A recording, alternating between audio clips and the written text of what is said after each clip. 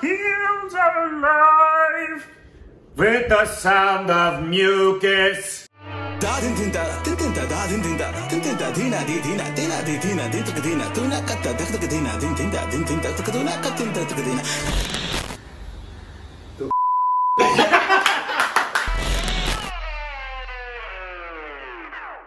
Hey, welcome back to our stupid reactions edits. This is Korbin. This Miles. is Rick Segall. and follow us on Instagram and Twitter. More juicy content. It's so Eat it. juicy. Punch her in the face. Yeah, over and over. Ah, Thanks for feel better Patreon now. following Twitter, can't ring the bell button, notification squad. Bang! When was the last time I washed my hands? Gross. Seriously, I just put my hand in my mouth. Coronavirus. Wash your hands. Uh, okay.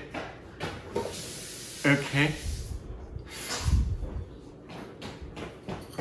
Back to our regular scheduled programming. I Had to cleanse my mouth out. So this, I believe, is a Carnatic rock fusion. I believe the language is Telugu. Uh, it's called. Oh wow.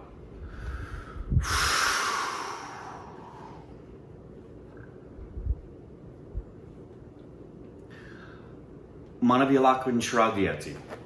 Mist of a Capricorn by Agam. Well, Agam, I can handle that one. Now read that. This is a cover of an 18th century Carnatic classical composition by Saint Tyagaraja, forgive me for mispronouncing that, by the band Agam.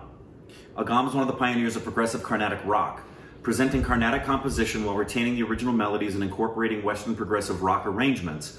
Progressive rock and jazz are gel most with Indian classical music due to the improvisational elements and the complexity and rhythmic structures.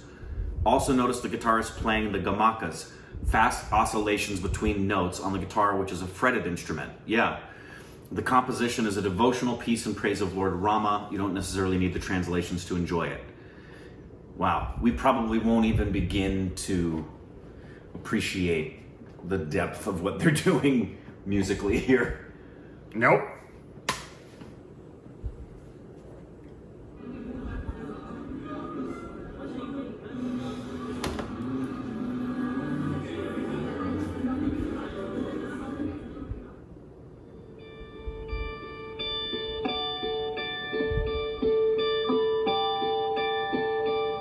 Overtones.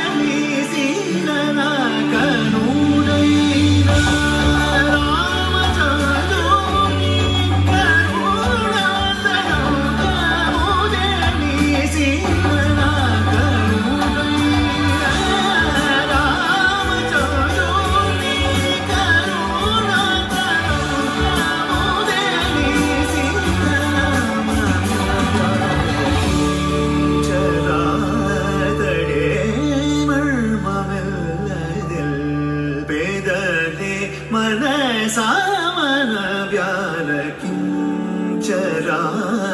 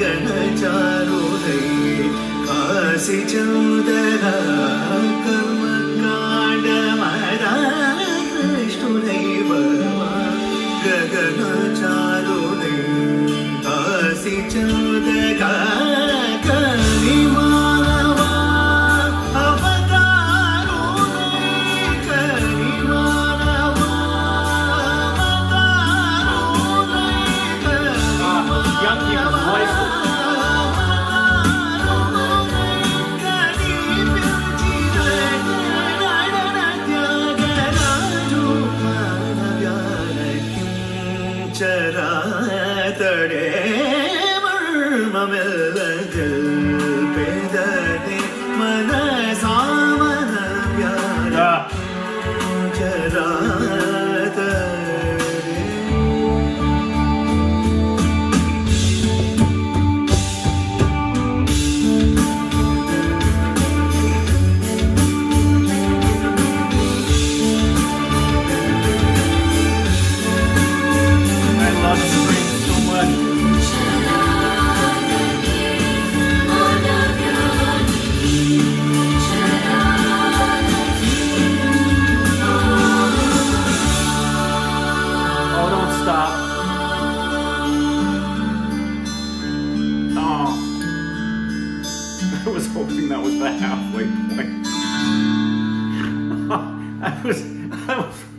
hoping we were only halfway there. How long was that? Like six minutes. Oh no, no, no. That needed to be 15. That's a great, Wow. great, beautiful, composed Gorgeous. piece. That was wonderful. I love it when bands and orchestras combine because obviously Yes. I love the strings. Yes. Um, And if, if you guys, I'm assuming you have, they've been around for so long. If you don't know Trans Siberian Orchestra, and you very well may not because they're big here in the States at Christmas time. They have other music, but they're known for taking standard Christmas songs and turning them into these rock operas. Yeah. And I- I've seen them in concert many, many times. They're as fluid and beautiful as what that just was. Yeah. But this had such, it's just, I felt like I just took a, a nice clean shower in a waterfall of art, artistic excellence right then. That was just refreshing and encouraged my heart about the future of mankind. oh, Really did. I'm glad you have hope. I do. that right there, that does. That gives me hope in the future of the humanity. That was such a beautiful. Have we seen a song of theirs? That I, I thought I recognized the lead singer. I, I we may have. It's it's very plausible. I think it was VJ Roz. Probably. It was probably VJ Probably. I think I saw Sartaj in there as well. I think he was in there too. Probably. But yeah, And, uh, that was beautiful. I love a good- gorgeous. I love a bunch of good uh, guitar solos or Oh, he was smooth like butter. smooth like butter on Smooth. on your mom's buttocks. And the, so was the bassist mirroring everything he was doing. It was just everybody was gorgeous. was it our bassist? No, no, no. Mohini Dey? No, not at all. That was fantastic. Um, so please let us know more from them, and thank you to our subber. Yes. uh, who subbed that for us. Thank Uh, you so much for your work for contributing beautiful. to the Stupid Family. The singer was fantastic. This was gorgeous. Uh, I would like to hear more from them. So Yes, let us know what please. other songs we should rack to them down Below. below. Da din din da din din da da din din da din din da dina di dina dina di dina din tuk dina tuna katta dak dak dina din din da din din da tuk duna katin da tuk dina